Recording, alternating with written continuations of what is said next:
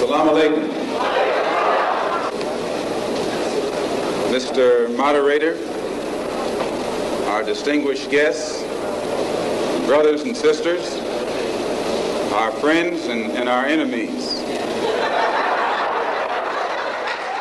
They, they're looking at Yemen as an Iranian problem, and the only way they get dragged in is if the pro-Israeli lobbying uh, machine pushes them to attack Yemen because of their blockades with the uh, Gulf of Aden. But as we mentioned before, these folks are trying to build a highway but, uh, that goes through India, through Saudi Arabia, through Israel, which is why these Gulf countries they want to normalize relations with Israel because it's economically viable and it will force Israel to, if they want to do business with with these with these Gulf countries, they force them to calm down. They force them to behave. But again, you're talking about a people who don't have a word that they keep anyways but allah knows best right you gotta you gotta understand like the issue between Saudi Arabia and Palestine, again, it's a, it's a complicated one as well. Because King Faisal, rahimahullah, he did a lot for the Palestinian cause. He caused a global economic uh,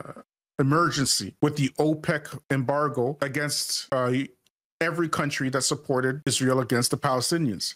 And he was assassinated for his efforts. Ever since he was assassinated, whenever something goes wrong with Palestinians from the Israelis, the first people who get blamed, who is it? Somebody put it in the chat, please. Whenever something goes wrong with the Palestinians, who are the first people that the Muslims call out? Somebody put it in the chat, please.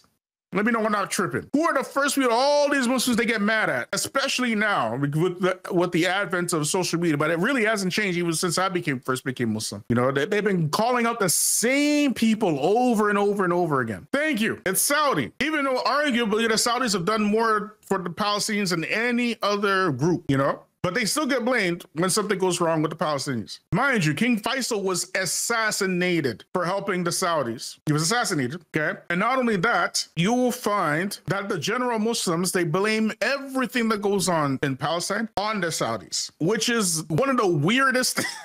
I guess it's just weird. It's just weird. Do you know how many uh, people of Palestinian descent are living in Saudi right now? When I was in Saudi, there's like all, all kinds of people of Palestinian descent from Jordan, from uh, Lebanon because you know you can't get a Palestinian. There's no such thing as a Palestinian passport. So they, the Palestinians, they would go to these other countries like Lebanon, Jordan, whatever, and they end up in Saudi. You know, so really the Gulf countries they're kind of tired of this this situation. They're really tired of it because whenever something goes wrong in you know Palestine, they're the ones that get blamed. And as I said, they're they arguably do more than anybody else. Definitely more than the Egyptians. Definitely more than Egyptians. Like more than the than uh, even the people in Sham. But that's neither here nor there. They they want this thing to end. They are getting their weapons from the United States, Saudi, Egypt, all these all these Arab countries. They get their wep- weaponry from the United States. The only one that's really armed from Russia is probably Iran. You get it? But Iran again, that's the reason why they have these anemic responses between Iran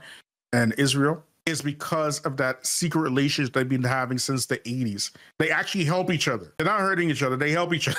you know what I mean? But they're out there pretend that they they hurt each other for political expediency. You know what I mean? But anyways, family, again, the short of it is is that again, Donald Trump nor any U.S. president is interested in attacking Yemen. They already, if they wanted to do that, they would just get the Saudis to do it. Why why would you send your own troops to Yemen? Right on the ground. You know what I mean? The most that they would do is probably, you know, bomb some bunkers or whatnot from the sea, right? But that's in, in terms of all out war, no, that's not gonna happen. That's not gonna happen. And they they can't do it anyways because they're the empire is in full decline. So when the empire is in full decline, you gotta expect civil war. We fully expect Donald Trump to be the next president, whether through election. And even if he loses the election, what he will do is that he will fight it in the courts and he'll probably win in the courts.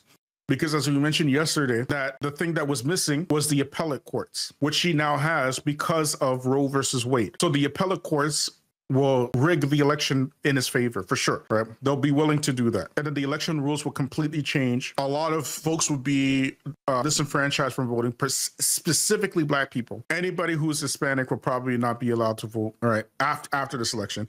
And if Kamala Harris wins, like wins, wins, then you're going to see, uh, my humble opinion, you probably see civil war or some sort of uh, social upheaval. And if there is no social upheaval, after if Kamala Harris wins, it will be um, uh, instigated from outside forces like BRICS, who will send, as we mentioned before, they're going to end up sending trillions of dollars, US dollars, back to the states, which will call cause a whole economic collapse. It will cause a whole economic collapse. Y'all are going to be spending 100, 200, 300 dollars on a loaf of bread. Paper gold. You see, black folks are chumps. If America were to tell you to bring all the rocks in this country to her, and she'll give you a million dollars for it, you'll do it. And the next day she'll tell you we're using rocks for currencies, chump.